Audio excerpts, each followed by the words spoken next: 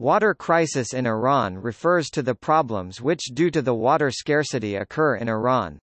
Water scarcity can be a result of two mechanisms, physical absolute water scarcity and economic water scarcity, where physical water scarcity is a result of inadequate natural water resources to supply a region's demand, and economic water scarcity is a result of poor management of the sufficient available water resources.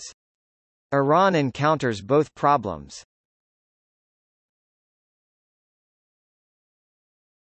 Topic. Water resources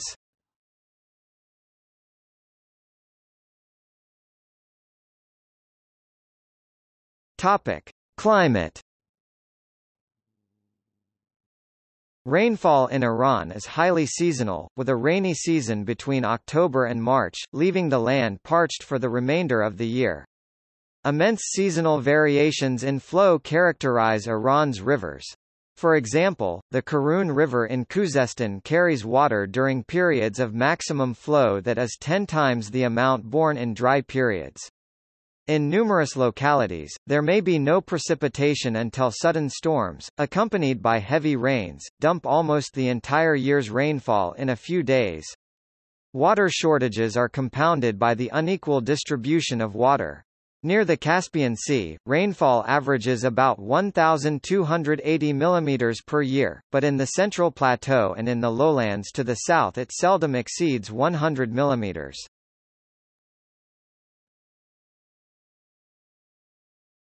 Topic: Water availability. Internal renewable water resources are estimated at 128.5 billion cubic meters (BCM) per year, average for 1977 to 2001. Surface runoff represents a total of 97.3 BCM per year, of which 5.4 BCM per year comes from drainage of the aquifers and thus needs to be subtracted from the total. Groundwater recharge is estimated at about 49.3 bcm per year, of which 12.7 bcm per year is obtained from infiltration in the river bed and also needs to be subtracted. Iran receives 6.7 bcm per year of surface water from Pakistan and some water from Afghanistan through the Helmand River. The flow of the Arax River, at the border with Azerbaijan, is estimated at 4.6 bcm per year. The surface runoff to the sea and to other countries is estimated at 55.9 bcm per year. Per capita water availability in the pre-Islamic Revolution era was about 4,500 cubic meters. In 2009, this figure was less than 2,000 cubic meters.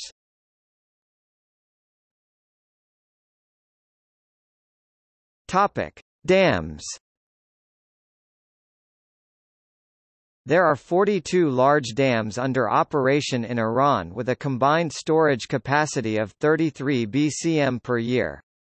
These dams lose about 200 million cubic meters of storage capacity every year due to sedimentation 0.5 to 0.75% of their storage capacity.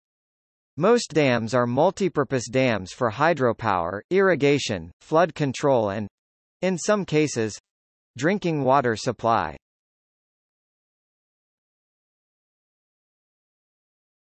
Topic: Water use The total water withdrawal was estimated at about 70 bcm in 1993, rising to 93 bcm in 2004, of which 92% was used for agricultural purposes, 6% for domestic use and 2% for industrial use. Although this is equal to 51% of the actual available renewable water resources, annual abstraction from aquifers 57 bcm in 1993, 53 bcm in 2004 is already more than the estimated safe yield 46 bcm. Of the 4.3 bcm per year in 1993 6.2 in 2004 used for domestic purposes, 61% is supplied from surface water and 39% from groundwater. For example, Greater Tehran with its population of more than 13 million is supplied by surface water from the Lar Dam on the Lar River in the northeast of the city, the Latyan Dam on the Jajrud River in the north, the Karaj River in the northwest, as well as by groundwater in the vicinity of the city.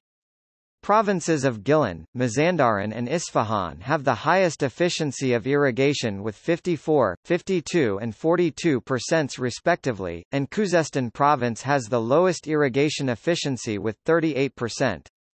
Tap water consumption in the country is 70% over and above the global average. 16 BCM of water was used for power generation in 1999. As of 2014, Iran is using 70% of its total renewable freshwater, far above the upper limit of 40% recommended according to international norms.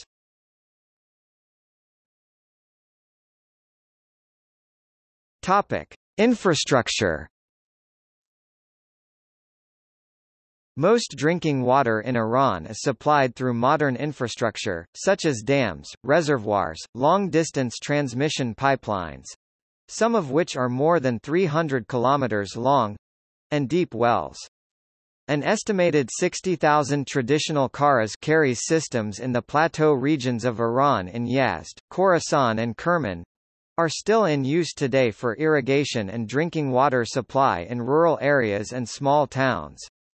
The oldest and largest known Karas is in the Iranian city of Gonabad which after 2,700 years still provides drinking and agricultural water to nearly 40,000 people. Its main well depth is more than 360 meters and its length is 45 kilometers. It is estimated that there are as many as 500,000 deep and shallow wells in the country.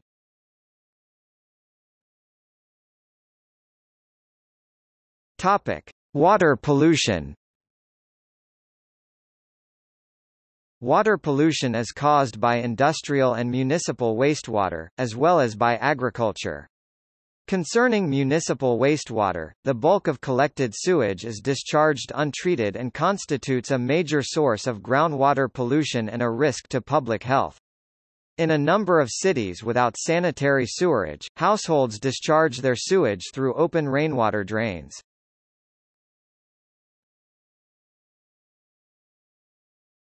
Topic: Water crisis. In December 2013, Hamid Chitchian, head of the Ministry of Energy, which is in charge of regulating the water sector, stated that the sector's situation had reached critical levels.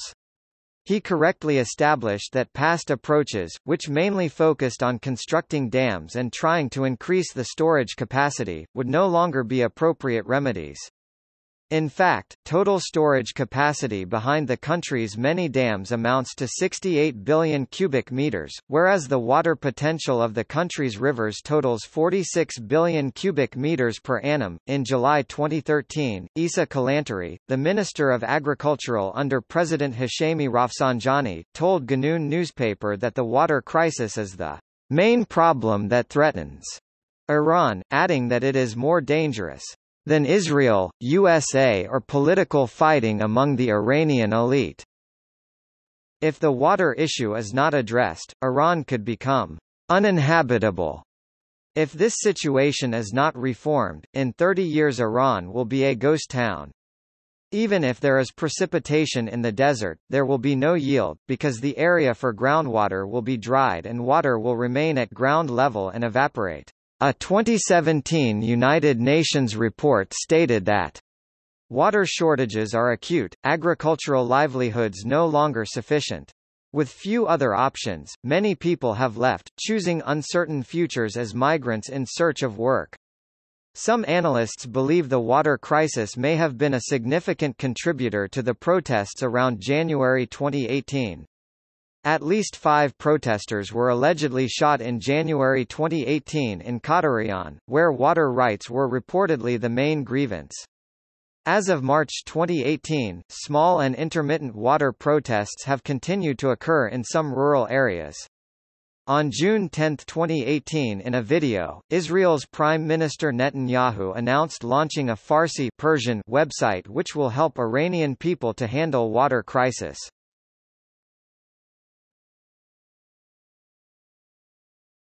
Topic. See also Environmental issues in Iran